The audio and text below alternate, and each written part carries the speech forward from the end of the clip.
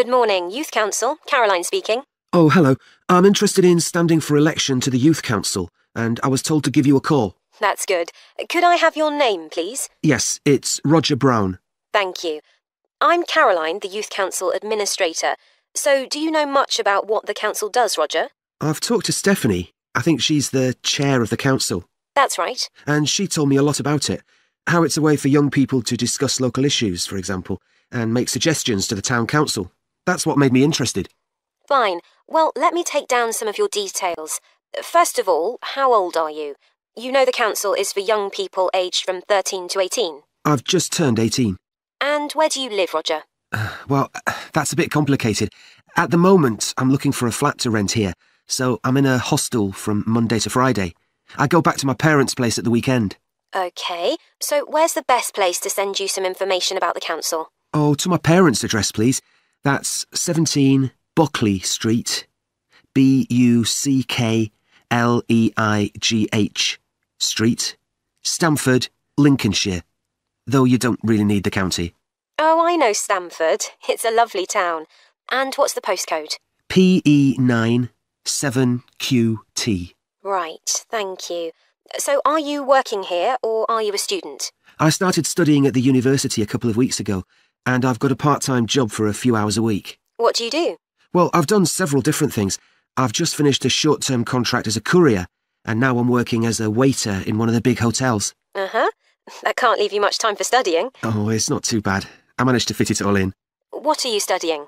My ambition is to go into Parliament eventually, so my major subject is politics. That's partly why I think the Youth Council is important and want to be a part of it. And I suppose you're also taking a minor subject, aren't you? I know a lot of people study economics too. I chose history. To be honest, I'm not finding it as interesting as I expected. Now listen and answer questions 6 to 10. OK, so with your studying and your part time job, do you have time for any other interests or hobbies? Well, I spend quite a lot of time cycling, both around town to get to university and to work, and also long distance, from here to London, for instance. That's pretty impressive. Anything else? For relaxation, I'm also keen on the cinema. I used to go at least once a week, but I can't manage to go so often now. Right. Are you sure you'll have enough time for the Youth Council? Yes, I've worked out that I can afford to reduce my hours at work, and that will make the time. So, is there any particular aspect of the Youth Council's work that appeals to you, Roger? Well, my sister is blind, so I'm particularly interested in working with disabled young people to try and improve the quality of their lives. That's great. Well, the best way to get involved is to be nominated by some people who you know. Right. Can you tell me how to set about organising that? You should talk to Jeffrey, our elections officer. I can arrange a meeting in the council office with him if you like. Yes, please. He'll be here next Monday, if that suits you. That's the 14th, isn't it? Yes. I can manage late afternoon. Would you like to suggest a time?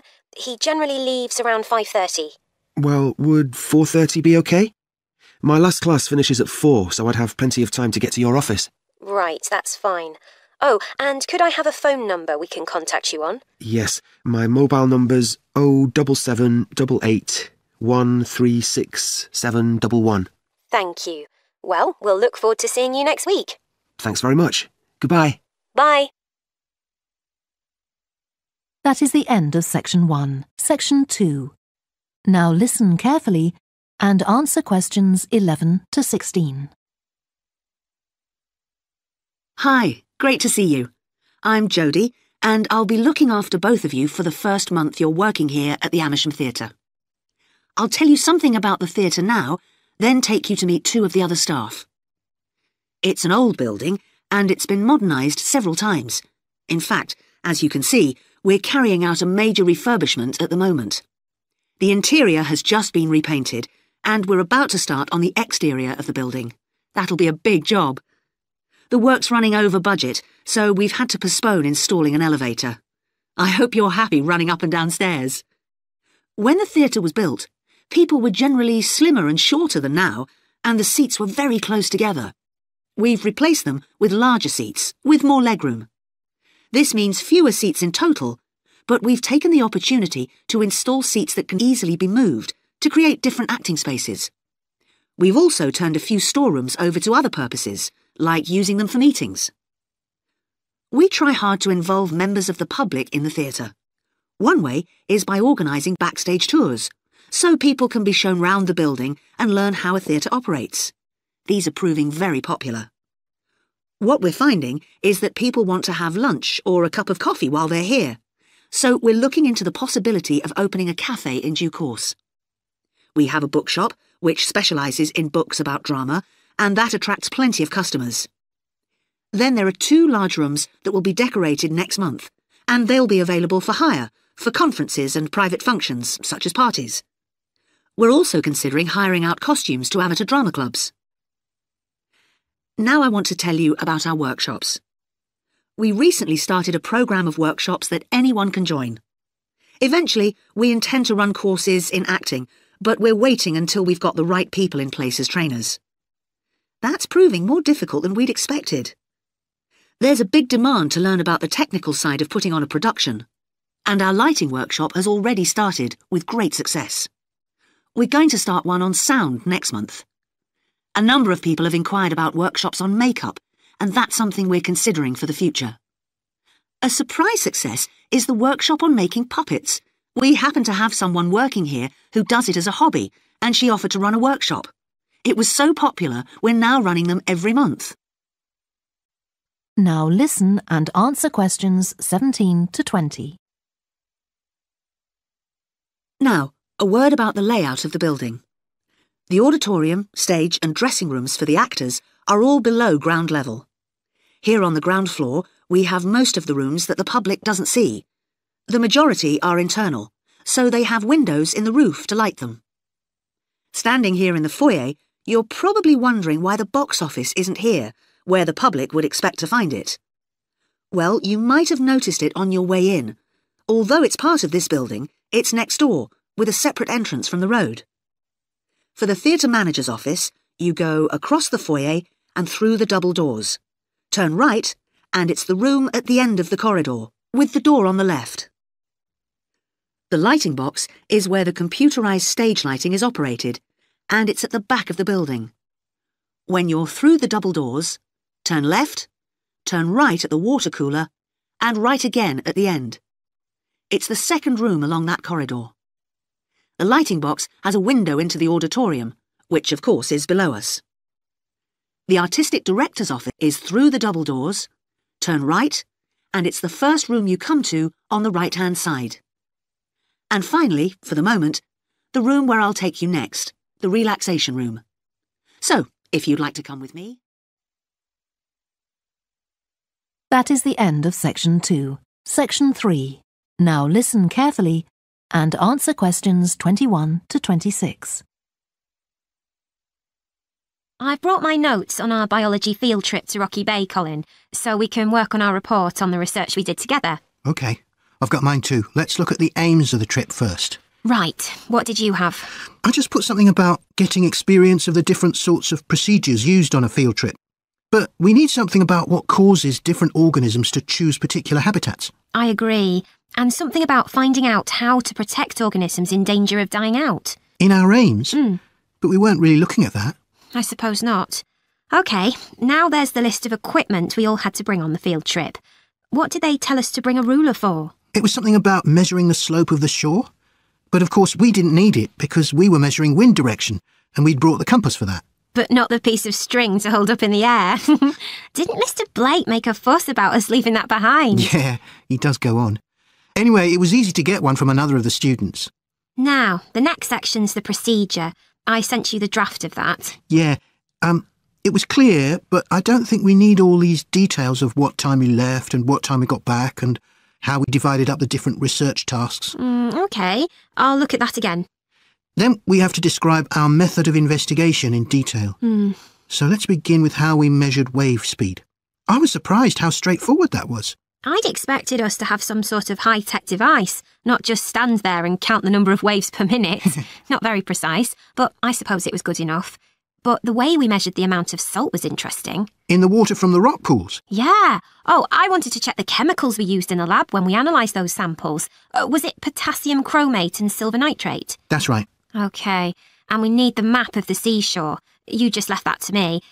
And I had to do it while the tide was low. Well, that was okay, but the place I started it from was down on the beach. Then I realised I should have gone up higher to get better visibility, so I had to start all over again. But at least I got the squared paper, or I'd have had problems drawing it all to scale. Yeah, it looks good. We could get a map of the region off the internet and see if we need to make any changes. Hmm, I had a look, but I couldn't find anything. But you took some pictures, didn't you? Yeah, I'll email you them if you want. OK, I'll make my amendments using those. Then I can scan it into our report. Great. Now listen and answer questions 27 to 30. Now, when we get to our findings, I thought we could divide them up into the different zones we identified on the shore and the problems organisms face in each zone. So, for the highest area, The splash zone. yeah, we found mostly those tiny shellfish that have strong hard shells that act as protection. But not from other organisms that might eat them. Predators. No, that's not the main danger for them, but the shells prevent them from drying out because they're in the open air for most of the time. Right. And since they're exposed, they need to be able to find some sort of shelter or cover themselves up so they don't get too hot. Mm. Then, in the middle and lower zones nearer the sea, we need to discuss the effects of wave action. Yes, and how organisms develop structures to prevent themselves from being swept away or even destroyed by being smashed against the rocks. I haven't done anything on the geological changes. I don't know what to put for that. Mm, no, we weren't concentrating on that. Maybe we need to find some websites. Good idea. I've got the lecture notes from Mr. Blake's geology course, but they're too general. But we could ask him which books on our reading list might be most helpful. Right. OK. Now, I did a draft of the section of sources of possible error in our research, but I don't know if you agree. For example, the size of the sample and whether it's big enough to make any general conclusions from. But I thought actually we did have quite a big sample. We did. And our general method of observation seemed quite reliable. But we might not be all that accurate as far as the actual numbers go. Yeah, we might have missed some organisms hmm. if they were hiding under a rock, for example. Hmm. I wasn't sure about the way we described their habitats. I decided it was probably okay. Yeah, and the descriptions we gave of the smaller organisms, they weren't very detailed, but they were adequate in this context. I'm not sure we identified all the species correctly, though. Okay, we'd better mention that. Now, how are we going to. That is the end of section 3. Section 4. Now listen carefully and answer questions 31 to 40. We've been discussing the factors the architect has to consider when designing domestic buildings. I'm going to move on now to consider the design of public buildings, and I'll illustrate this by referring to the new Taylor Concert Hall that's recently been completed here in the city. So, as with a domestic building, when designing a public building, an architect needs to consider the function of the building. For example, is it to be used primarily for entertainment, or for education, or for administration? The second thing the architect needs to think about is the context of the building. This includes its physical location, obviously, but it also includes the social meaning of the building, how it relates to the people it's built for. And finally, for important public buildings, the architect may also be looking for a central symbolic idea on which to base the design, a sort of metaphor for the building and the way in which it is used.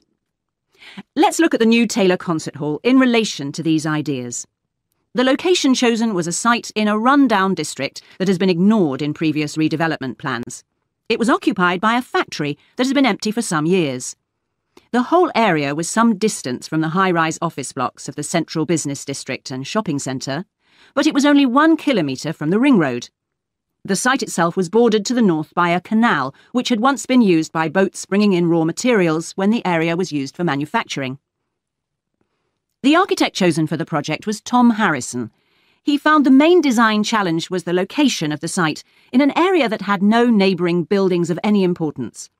To reflect the fact that the significance of the building in this quite run-down location was as yet unknown, he decided to create a building centred around the idea of a mystery, something whose meaning still has to be discovered. So, how was this reflected in the design of the building? Well, Harrison decided to create pedestrian access to the building and to make use of the presence of water on the site. As people approach the entrance, they therefore have to cross over a bridge. He wanted to give people a feeling of suspense as they see the building first from a distance and then close up. and the initial impression he wanted to create from the shape of the building as a whole was that of a box. The first side that people see, the southern wall, is just a high, flat wall uninterrupted by any windows. this might sound off putting, but it supports Harrison's concept of the building that the person approaching is intrigued and wonders what will be inside. And this flat wall also has another purpose. At night time, projectors are switched on, and it functions as a huge screen onto which images are projected. The auditorium itself seats 1,500 people. The floors supported by 10 massive pads. These are constructed from rubber, and so are able to absorb any vibrations from outside and prevent them from affecting the auditorium. The walls are made of several layers of honey-coloured wood, all sourced from local beech trees. In order to improve the acoustic properties of the auditorium and to amplify the sound, they are not straight, they are curved. The acoustics are also adjustable according to the size of orchestra and the type of music being played. In order to achieve this, there are nine movable panels in the ceiling above the orchestra, which are all individually motorised.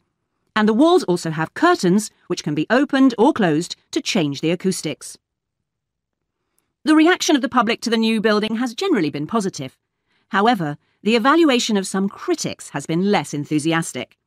In spite of Harrison's efforts to use local materials, they criticise the style of the design as being international rather than local, and say it doesn't reflect features of the landscape or society for which it is built.